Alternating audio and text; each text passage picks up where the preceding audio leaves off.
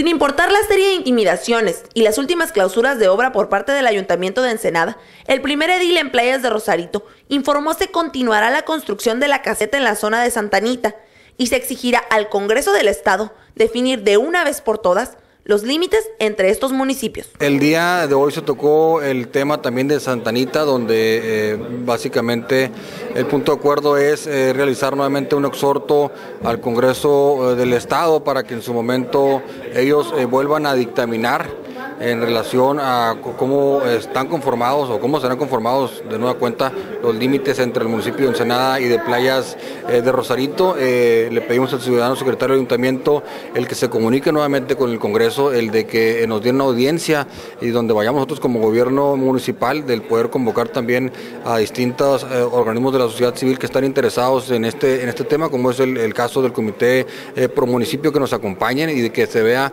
pues cuál es el, por qué la necesidad tan urgente de, poder nuevamente eh, pues delimitar eh, cómo quedarían eh, ambos municipios en cuanto a su territorio, ¿no? Y, decirles que también acordamos que de, que el Congreso del Estado no a la brevedad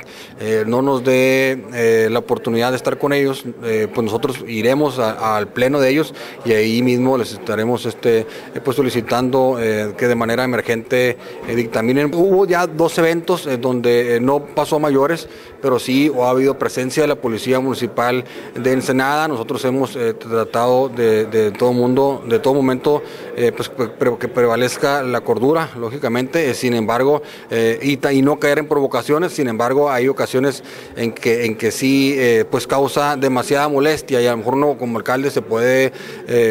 puede tratar de cuidar las formas, pero hay otros funcionarios que en su momento no pudieran cuidar las formas o, o incluso la misma comunidad en general. Llegar a las últimas consecuencias con tal de dar los servicios que la comunidad requiere fueron los principales puntos que Javier Robles expresó durante la sesión de Cabildo esta mañana, donde sin importar la influencia de la Policía Municipal por parte de Ensenada, estos continuarán ejerciendo obras y proporcionando la asistencia necesaria al poblado de Santa Anita. Con imágenes de Erika Zamorano, para CNR Noticias, Marínez Zavala.